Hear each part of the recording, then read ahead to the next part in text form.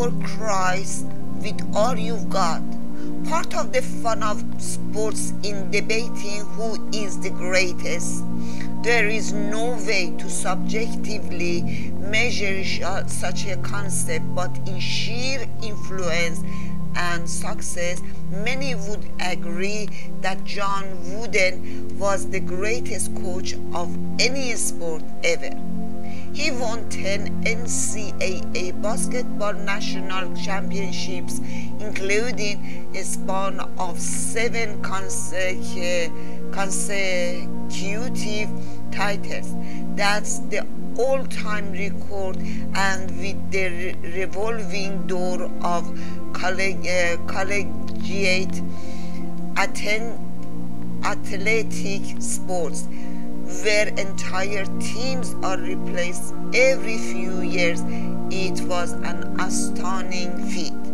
As a Christian, Wooden always rightly gave thanks to the Lord for his success, but make no mistake, he was a fervent believer in the power of hard work and discipline. He drilled his players hard. He demanded their very best. Many of his principles have been studied the world uh, over and applied to businesses and countless other career fields. Do you not know that in a race all the runners run, but only one gets the prize? Run in such a way as to get the prize. Science runs to win. Why? Because that's part of our identity. We give Christ everything naturally when we understand who we are in Christ because we know that everything belongs to Him anyway. Without Him, we can do nothing. Through Christ, all things are possible. The key is this stop trying to become something you already are. You are made a saint by the loving sacrifice of Christ and the reality of His Holy Spirit in you. If you think you are a sinner, you will need to try to establish your own righteousness. That leads to legalism despair, and failure because it simply can't be done. It's not the way we were designed. The design of the Christian life, beginning in the upper room of Acts chapter 2, is an intimate, passionate walk in the Holy Spirit where we rest in who we are in Christ and allow Him to live His life through us. That's how the race is won in the Christian faith. Heavenly Father, I have been called by your name and you call me a saint. I desire to be one of your champions, yet I openly confess my failures and my shortcomings, both the things that I have done and the things that I have not done. Show me how to run this race.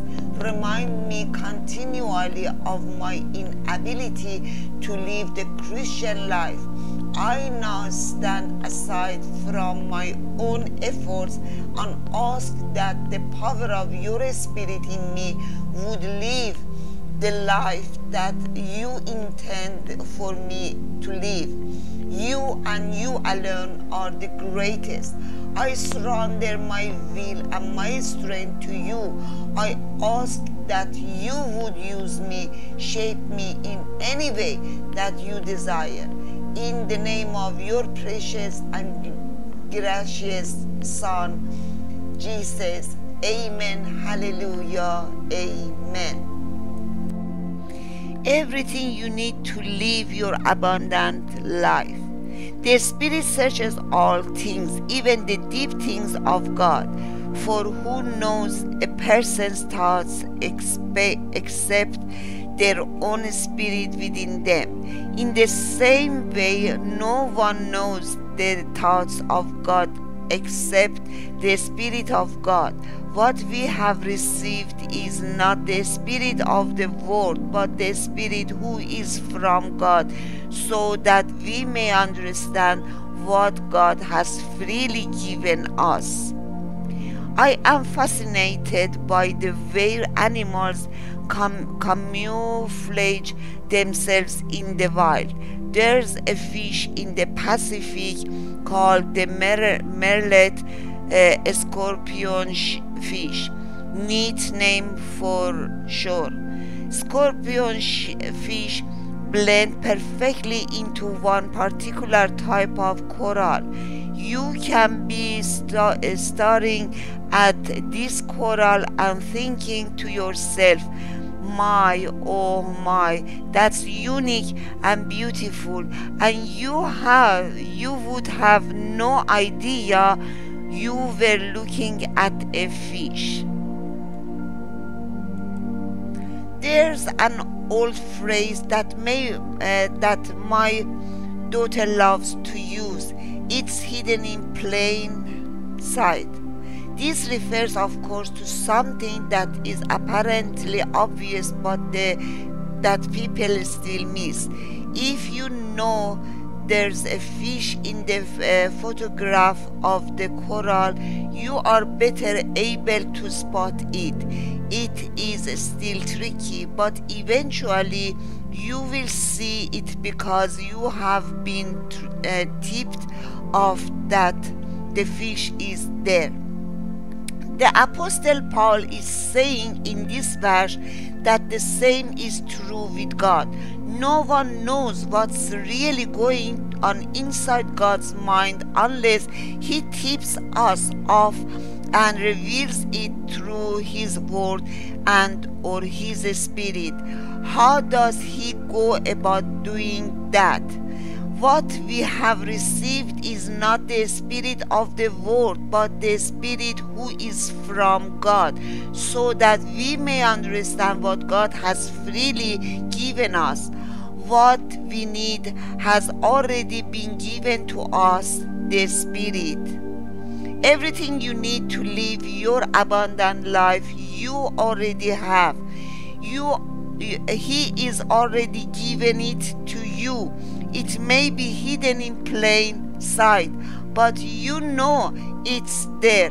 The Holy Spirit is the teacher who wants to show it to you. Father in the heaven, teach me to find you. You are in plain sight, and yet I seem to always miss you. Give me the wisdom and discernment by your Spirit that I need to understand and apply your purpose for me. I can't do this on my own. I trust in you to reveal the mystery in your time. Amen. Hallelujah. Amen. Keep these stories coming. We recently received a letter from a listener named Mary that we thought you would want to read because her words are a powerful testimony to the impact of your support. Mary shares, I am tremendously grateful for the inspiring, uplifting call to action, shift in perspective, grace filled gospel messages that are shared by, by Stuart Jill and Pete Briscoe. As Christians, we are tasked with navigating being in the world but not of the world, and I truly believe telling the truth is shining God's light in order to better help individuals, including myself, meet this challenge with grace, peace, and renewal, which is only possible through our Lord and Savior. Thank you for your service to God and His disciples. Experience the joy of knowing God's will for you. Jesus teaches us how God has a will and a plan for you and how the Holy Spirit can empower you to find and follow his call. Do you really know him? The only questions that really matter are the ones you ask yourself. There is an anomaly that we need to tackle in church culture. It's the Christian who, in principle, is focused on Christ but in practice is still focused on themselves. In principle, they say all the right things, they look the right way, they carry the right Bible, they go to the right Bible studies, etc. In principle, they are focused on Christ, but in practice, it's still about themselves. Sure, it all looks Christian, but it's not focused on Christ. It's focused on activity, religion, and self effort. Sad. So the question must be asked Do you really know Jesus? Some of you have heard over the years that Christ lives in you. You know about that, but you have you experienced it? Do you know what it looks like? Have you ever truly asked Him into your heart? Thanked Him for going to the cross for you? Praised Him because of His mercy and grace? I want to particularly aim these questions at those of you who might feel like you know a lot about God, Jesus, the Spirit, and His Word. If you think you have a lot of religious knowledge, you actually might not know anything. The core reason for this is that true Christianity is not adherence to doctrine and devotion. It's a mystery that can only be known in the context of relationship. If you have the Holy Spirit in your spirit and God's Word in your hand, all things pertaining to the mystery and all things pertaining to salvation and life in Christ are available to you. You can understand them as the Holy Spirit reveals them to you. As you submit to the Holy Spirit and ask Him to do that, He will be faithful to do it. Do you really know Him? Let us know, let us press on to know the Lord. His going forth is as certain as the dawn, and He will come to you to us like the rain, like the spring rain watering the earth. Heavenly Father God, I want to go beyond knowing you in principle and instead know you personally in close relationship, submitting to the guidance of the Holy Spirit. I want to know what it means to be truly free in the most beautiful, powerful, strong, happy name of Jesus. Amen. Hallelujah. Amen. Living up to what you have attained, God is waiting for a settlement of all of our controversies with Him. The thought of being anything other than uh, British is repulsive to, well, the British. I can say this from experience because I was born in England. So when I became an American citizen, it was likely met with a few raised eyebrows by some of my fellow fellow Brits. During the citizenship ceremony, I had to raise my right hand and say, paraphrasing, I renounce all Eh, allegiances to any foreign sovereigns and powers. Basically, they were asking me to renounce my homeland and that was hard for me. I had to promise to do that because the United States does not accept dual citizenship.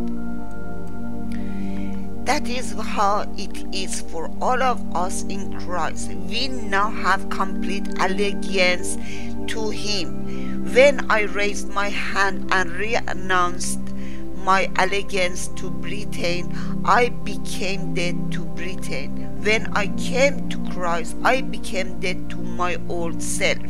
Significantly, this death is something that has already happened in Christ.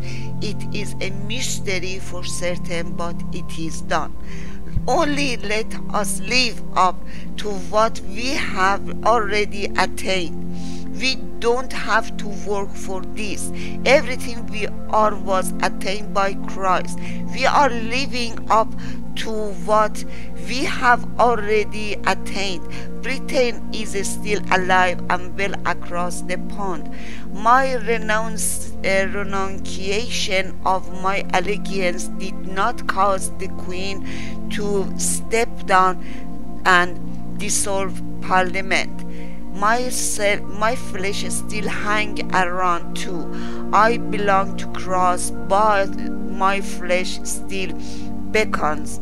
I am not saying that uh, Britain is the equivalent of sinful flesh.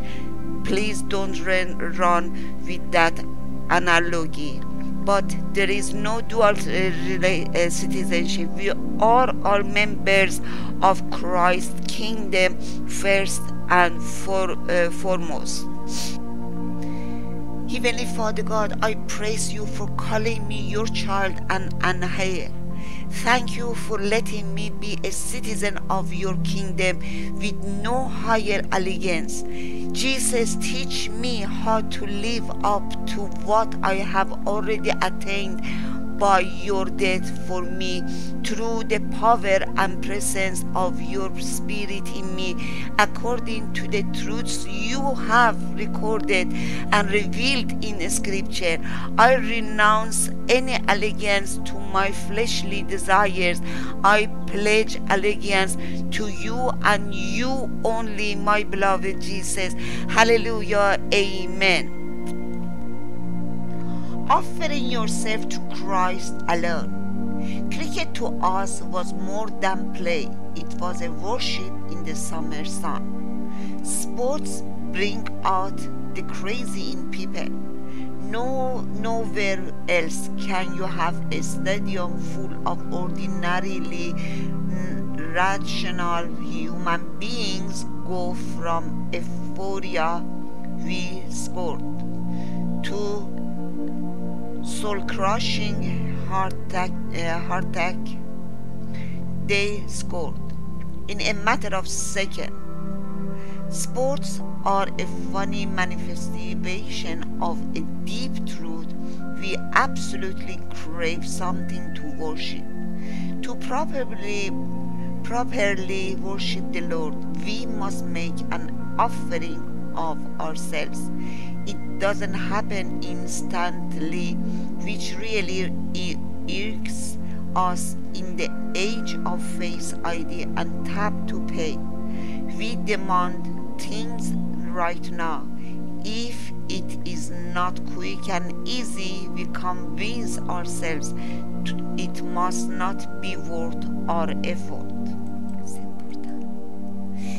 Type of thinking makes it unusually hard to dis- discipline our minds and bodies, but that's what God calls us to disciplined minds and bodies offered up to Him in the service of worship.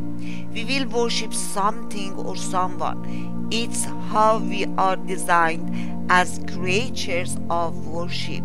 It's why we cheer at sports events passionately and also scream in anguish at a loss. For we know that our old self was crucified with him so that the body of sin might be done away with, that we should no longer be slaves to sin because anyone who has died has been set free from sin. When you become a believer, your spirit becomes alive to God and dead to endeavoring sin. So, endeavoring sin is no longer master over you. You discover this in your mind as the Holy Spirit enlightens your mind and illuminates scripture as you study it you discover truth uh, about who you are, a creation of worship designed to bring glory to God. Knowing this, I mean really knowing it, is what helps us make the decision to offer ourselves as instruments of worship to Christ and not to sin. Lord Jesus, my desire is to become an offering to you and nothing else. Reveal to me the plan you have for me today. I praise you and thank you for freeing me from sin when I was crucified with you. By the power of your Spirit, I choose to worship you. Illuminate your word as I read it and give me the patterns of thoughts and action that naturally reflect who you are in me and who I am in you. Amen. Hallelujah. Amen in the most powerful, beautiful, wonderful, successful name of you, Jesus. Amen. Hallelujah. Amen. Freedom over your emotions. Emotions were designed by God to follow and not to lead. We were once on a family horseback ride at a family friend's ranch in East Texas. My son Liam was riding a horse named Easy Money while we were trotting happily along. Easy Money decided to uh, he was done and made a beeline back for the stables. Poor Liam was holding on for dear life, but at that moment our guide shouted, Liam, pull back on the reins. So Liam yanked hard, and that 2,000 pound animal stopped on a deer. The horse responded just as our emotions ought to respond.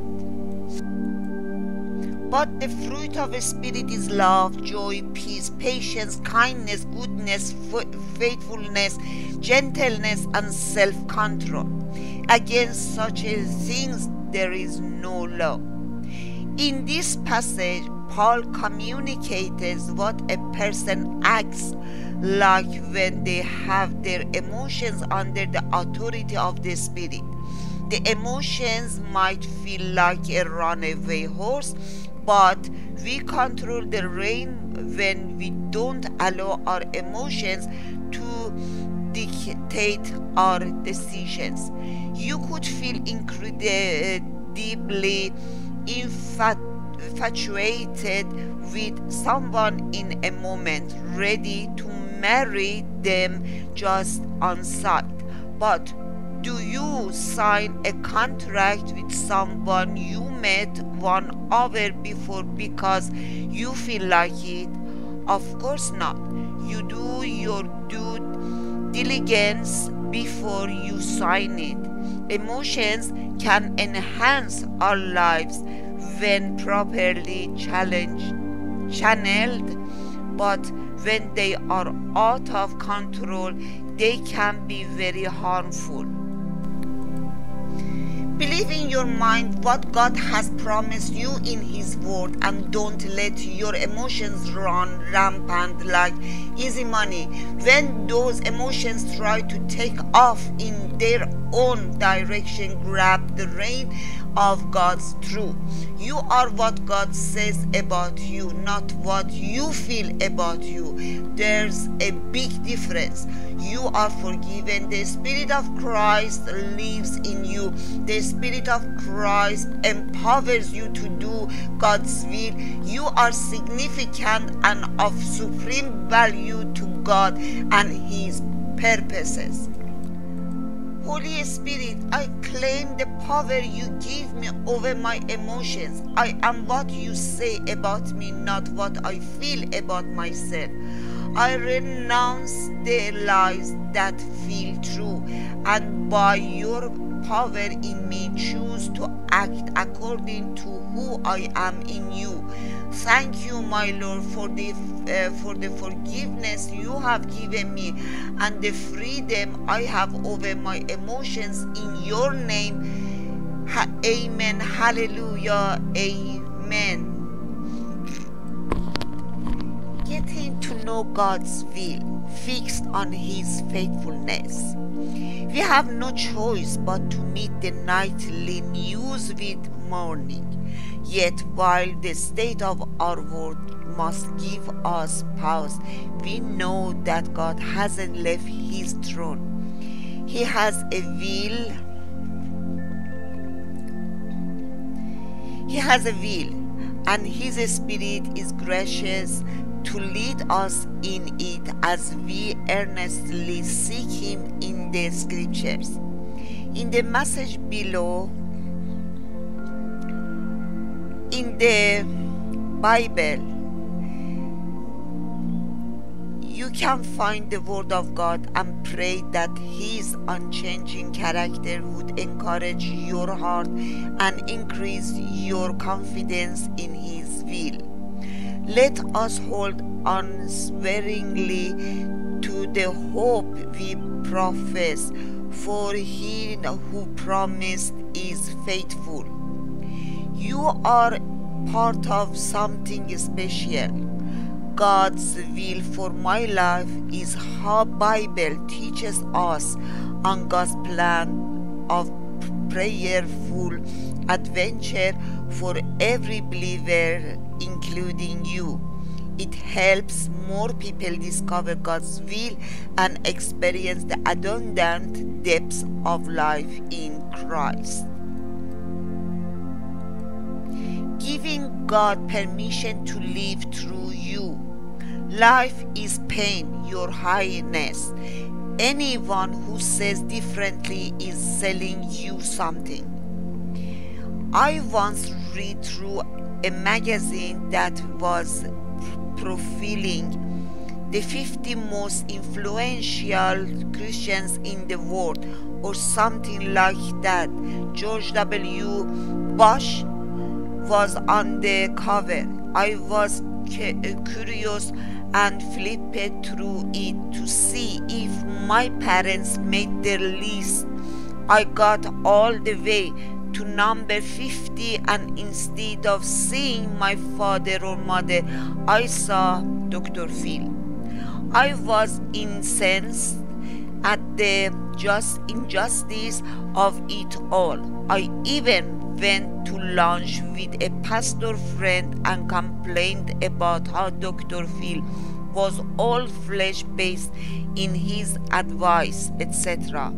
Then my friend quietly informed me that his dad led Dr. Phil to the Lord almost 30 years ago. Bam! At that moment, I pretty much heard the Spirit say to me, Look at the poison coming out of your mouth, Pete. That's not who you are. Do not conform to the pattern of this world, but be transformed by the renewing of your mind. Then you will be able to test and approve what God's will is His good, pleasing, and perfect will. Our minds and bodies need renewing, lots of renewing, so much, in fact, that it takes takes us our entire lives No one gets to the point of total perfection while on earth, and anyone telling you otherwise is selling you something. And yet, that needn't be discouraging. What a wonderful thought, uh, thought that Christ loves us enough to give us the Holy Spirit to teach and lead us as we grow. We are already saints, perfect and holy in our spirit before God. Now we need to simply allow God to live up to what we have already attained in Christ in our souls and bodies. I know that sounds crazy, but it's true. God is ready to live through you in a way that is a natural extension of who He has made you to be in Christ. Will you give Him permission to do so?